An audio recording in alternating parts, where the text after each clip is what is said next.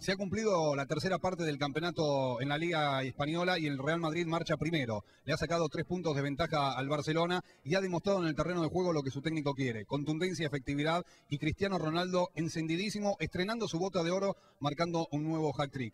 Lo cierto es que ayer dio una muestra de carácter importante el Real Madrid. Más allá de que uno se quede con el resultado, con ese 7 a 1 abultado y una gran diferencia en el juego, el Real Madrid, después de estar ganando 1 a 0, le empataron por una distracción y enseguida pudo remontar esta situación marcando el segundo gol. Higuaín anda muy bien, el equipo funciona a través de Di María, que ahora está lesionado y habrá que ver cuánto tiempo le depara su recuperación. Lo cierto es que el Madrid parece ser que esta temporada puede soñar con quedarse con algún título.